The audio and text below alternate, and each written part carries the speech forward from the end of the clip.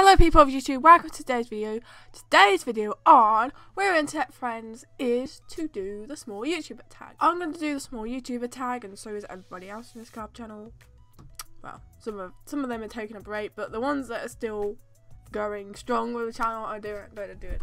First question is, what inspired you to start making videos? It was in 2009 and I was watching PC Wiz Kids videos and I wanted to make tech related videos like his even though I couldn't really edit or anything. And I used to make shitty webcam videos, like singing videos, talking to the webcam kind of videos, unedited, so really cringe. I don't have a lot of them these days, and I just wanted to upload them to YouTube because there was an upload to YouTube button on there, so like, I really want a YouTube channel, so I asked my mom if I could have one. She said yes and helped me sign up. I started to upload to YouTube. And I think it was Justine as well. Also inspired me. I used to watch a lot of her in 2009 as well. I just liked making videos. When I found out I liked doing it, I'm like, holy shit, I love doing this. It was my Dell laptop as well that inspired me, I guess, because I had the webcam. Second question, how long have you been on YouTube and have you had any other channels? since 2009, so that's almost 10 years now. I think in September of this year, I would have officially been on YouTube for 10 years. That's like crazy shit, that's like a half of my life. Like, holy fuck. Half of my life is spent on YouTube, and crazy enough. And I've actually enjoyed every second of it, so I can't really complain.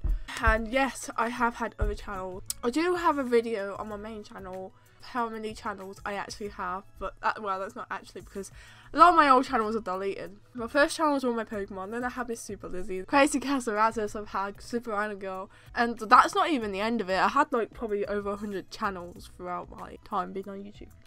Where do you see yourself and your YouTube channel in the next years. five years? Hopefully I'm in a job I really enjoy, unless I'm doing YouTube full time. Unless I do have a thousand subscribers in five years time, because I'm actually close to 500. I've been planning my subscriber special for that, which will be up when I hit 500 subscribers. I'll probably film it soon. Hopefully I'm happy in life. Hopefully I've moved out. That's a scary thought, but hopefully I'm happy and I moved out and I've got a job I enjoy and met more of my internet friends. That's well, I hope for me and my YouTube channel. Um, next question is, what message are you trying to get across in your videos? Basically, probably like be yourself and stuff like that. I know it's cliche, but I've kind of always had that message behind my YouTube channel and stuff. Always be yourself and be you and be proud of who you are.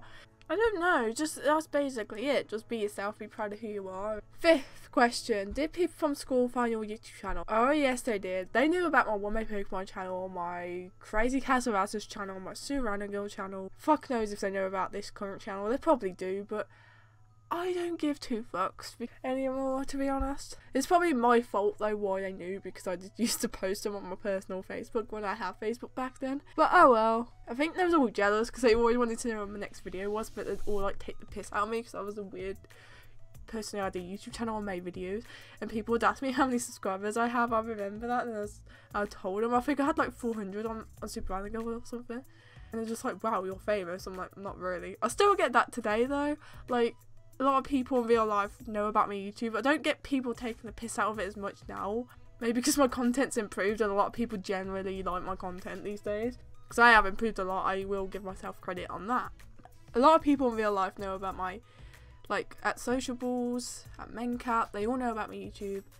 My family probably do, you know, I've got, I'm not hiding anything and I'm not ashamed about my YouTube channel, so. Six, what does your username mean? Should I do hmm. we're internet friends or casual CasualSX? Let's do both actually. Oh, we're internet friends username basically means we're internet friends. it did start off from, with more of us being friends, but because I've had to have, get new members. Not that much now, but, uh, but technically I guess we're all friends and they're all my friends anyway, so they're all my internet friends and close friends. So really thankful to have in my life. I love everybody in this club channel. And my Caz OS X username means basically I got the idea from Mac OS X.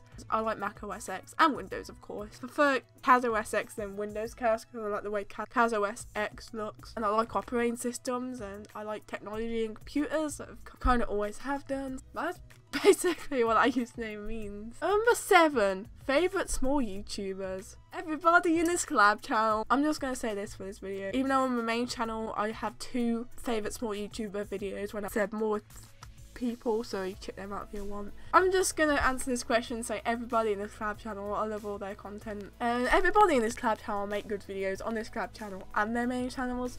So you should keep up the good work, okay? So I'm gonna go now, so I hope you enjoyed. Bye guys!